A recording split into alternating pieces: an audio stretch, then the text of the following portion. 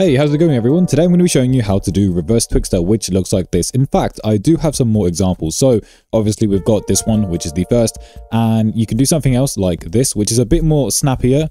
So it deaccelerates a bit quicker like that. Uh, actually, that's not really the best example. Let me show you another one.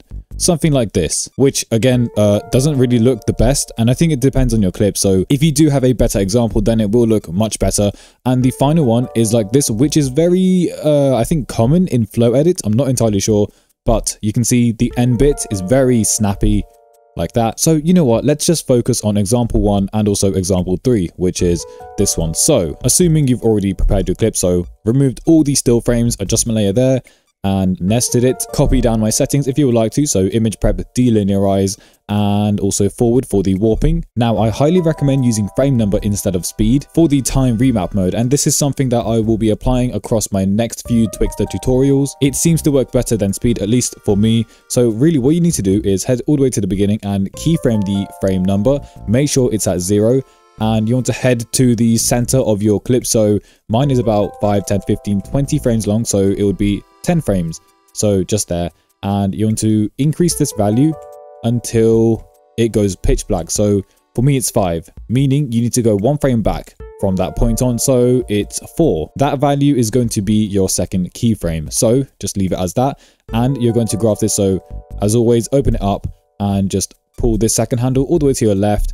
In fact, we can use the velocity to help us. So if I just head one frame back from the second keyframe and just adjust it making sure that it's at zero or a similar value. So 1.4 is fine. If I can get it to a closer value to zero, then that would be great. No, okay, you know what, that's fine. So far, this is what I have. Now we need to make the final keyframe. So head towards the end, one frame back as always from the end. So just there and decrease it. So turn it down back to zero. And all you need to do is just click on the middle keyframe and pull this out. In fact, I'm going to use the velocity to help me because it is a bit tight. So what you need to do is just pull this handle all the way to the right.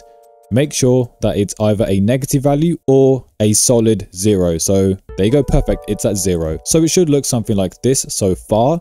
And you know, it is pretty good. And of course we can make adjustments like, for example, we can tighten this up like so, maybe like that, perfect and yeah if you're happy with it then leave it as it is. Um, but if you want to you can of course use the the third example i showed you at the beginning. So if you want to you can move this middle keyframe down here somewhere so maybe about one two three yeah. So just leave a three frame gap between the second and the third and it should look something like this hopefully. So yeah that's pretty much all you need to do. Members if you do need the project file i have put it up on the shop. I mean i doubt it will help but you know if it does help then great. If it doesn't i'm sorry. But thank you for watching.